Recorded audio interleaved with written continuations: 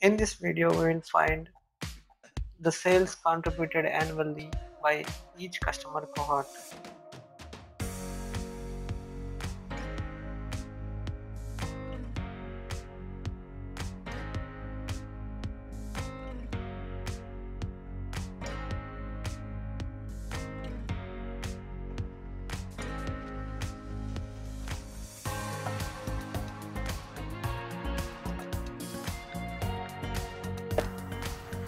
Create a new calculated field and start writing. Just name the calculated field as customer first order date.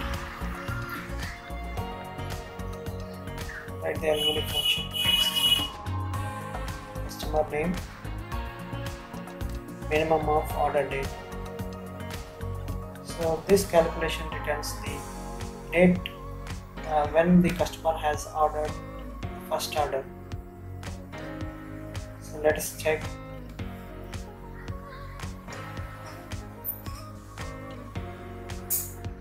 Type the customer name field.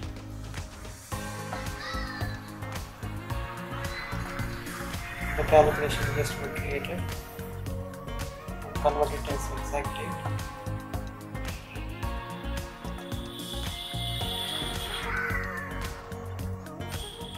Changing the field to discrete.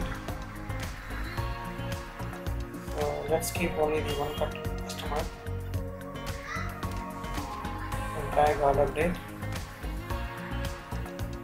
Change it to exact date.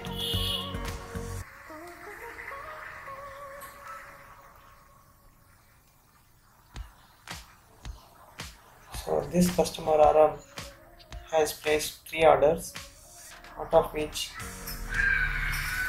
218 2016 is the first order so this date is repeating for every row of the orders placed by that customer. So drag the calculation to the color. Now we can see how customer cohort is contributed every year